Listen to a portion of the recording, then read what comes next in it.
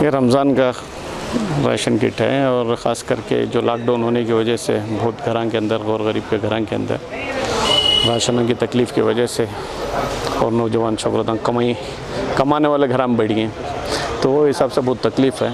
तो वो सोच को राशन बांटना कर बोल को हमारे ज़मीर अहमद खान साहब, उनके मोहल्ले के अंदर साठ हज़ार लोगों को 25 किलो चावल के साथ आटा, शक्कर, नमक और दाल सब उन्होंने दिए। तो उसके साथ साथ मुझे भी बोले कि तुम्हें भी तुम्हारे मोहल्ले के अंदर भारतीय नगर में हो और काम भी रहने दें। जो भी ज़रूरतमंद आदमी हैं, उन लोगों के घरां तक राशन पहुंचाओ कर को बोलने में। और उन लोगों को लाखों लाइन में क्यों में खड़ा होना को उनके घर का एड्रेस लेकर उनके घर को पहुंचाओ कर को बोले।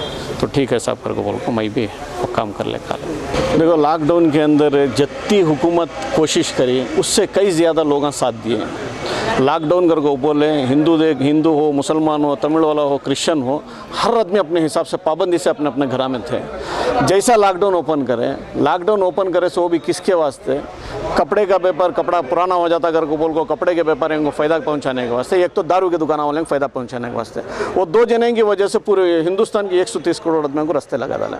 तो हमें 40 40 पाँच दिन लॉकडाउन में घर में रहो फ़ायदा क्या हुआ? आज लाखों के आदमी दारू के दुकानों के सामने क्यों में खड़को ही तो हमें 40 पाँच दिन लॉकडाउन के अंदर घर में रहने का फ़ायदा क्या?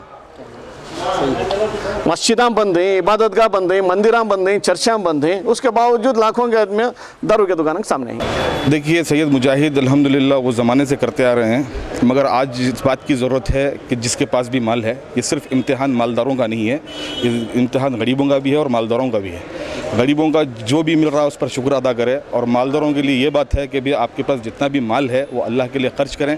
क्योंकि अल्लाह ताला आप एक देंगे तो अल्लाह ताला उसका दुगना, दस गुना आपको ज़्यादा लौटाएगा। और इसके अंदर दस किलो चावल है, पाँच किलो आटा है और एक किलो शक्कर है, आधा किलो दाल है, लीटर तेल है और जो है बहुत सारी दूसरे मसाले भी हैं। और तीन किलो का जो है पूरी तरकारी का उसमें पंडू है, प्याज है और बहुत सारी चीज़ें हैं।